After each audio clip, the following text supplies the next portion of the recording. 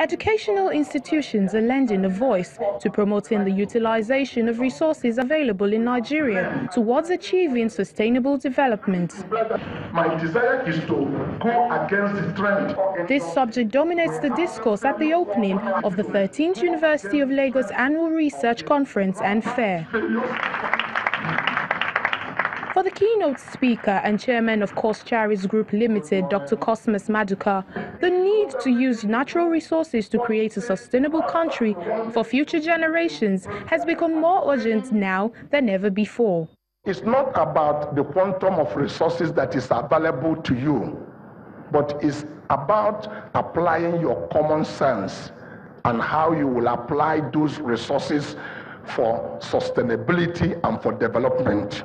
That is to say, how well a person, organization, or country deploy its resources to achieve desired result or outcome.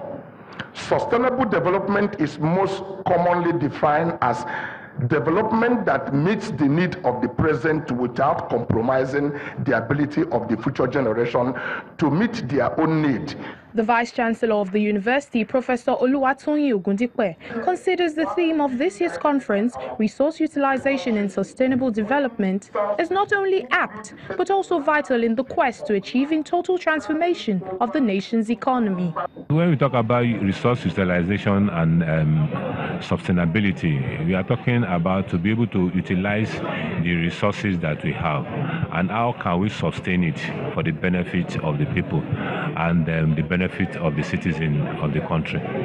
The program is built to run till August the 30th, and various speakers are expected to present research works and papers on the different challenges and solutions to the country's developmental needs.